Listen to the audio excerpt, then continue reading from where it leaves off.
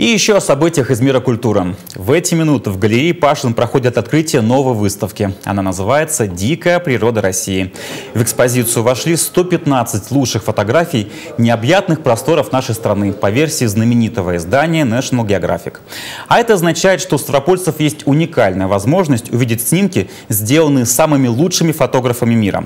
По мнению организаторов, выставку будет интересно смотреть всем – и фотографам, и обывателям, взрослым и детям.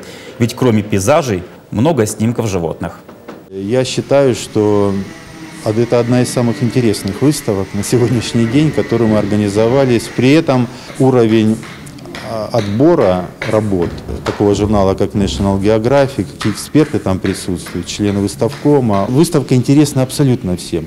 От двухлетнего, трехлетнего возраста до... Потому что мы увидели столько интереснейших, редких, редчайших фотографий леопардов, которые у нас, э, животных, при этом высочайший профессионализм и качество работы.